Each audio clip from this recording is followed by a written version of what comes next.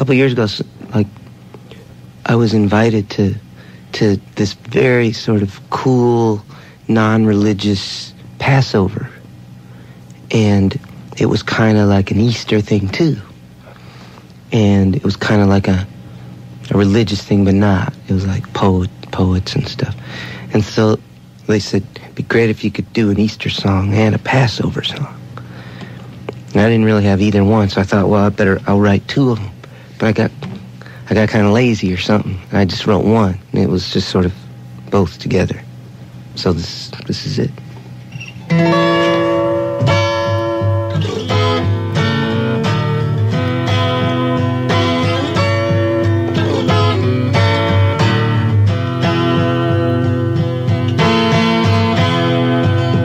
I found a bloody bone of a lamb when I opened up my door earlier this morning. I said, Oh my God. And I ran to warn my neighbors, but they were not at home. I was all alone. So I found my best friend Eddie, and we ran to the storehouse where they kept all of the bones. We took one for every home, enough to go around. Some beside the welcome mat, some inside the mailbox, some attached to the doorknob with a rubber band. And when we were finished, we fell to our knees and prayed. That when the rain comes down and the firstborn son is taken and the clouds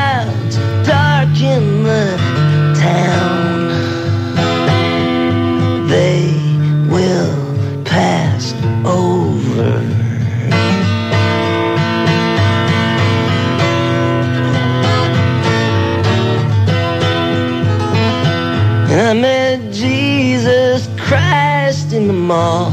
Said, What are you doing here? He said, I've come to find the king.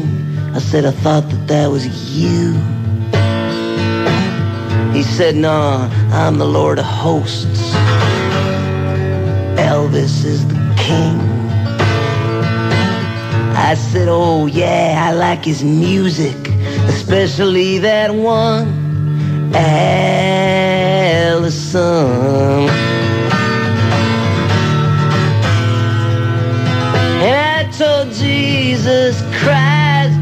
Bone that I found beside my door earlier this morning.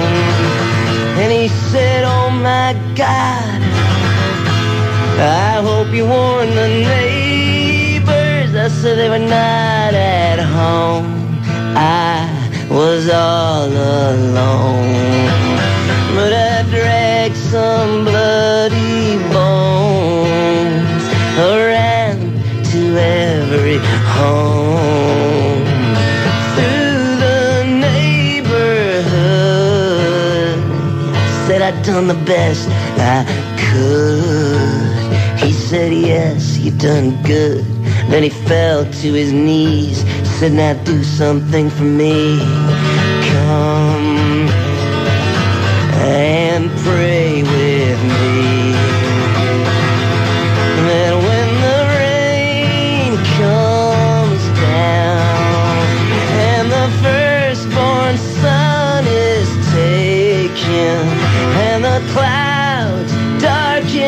town,